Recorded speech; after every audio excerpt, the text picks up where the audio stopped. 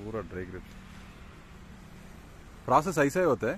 हम्म। Dry grapes का। ऐसा है हाँ, ऐसा ही प्रोसेस अभी सूख जाता है पंद्रह तीन दिन में पंद्रह बीस दिन में। अच्छा। और वो उसको क्वालिटी निकल आता है ये देखो ऐसा होता है। ठीक है। ये होता है ये ये ऐसा होगा। ये अभी ऐसा होगा।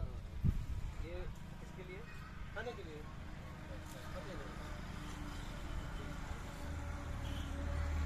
ஃபுல்லாக ட்ரை கிரேப்ஸ் சார் இந்த ப்ராசஸ்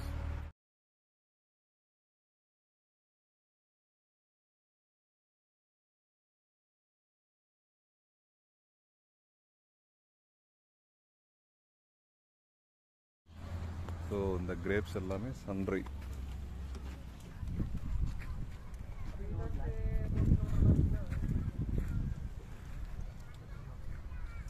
இது வீடியோ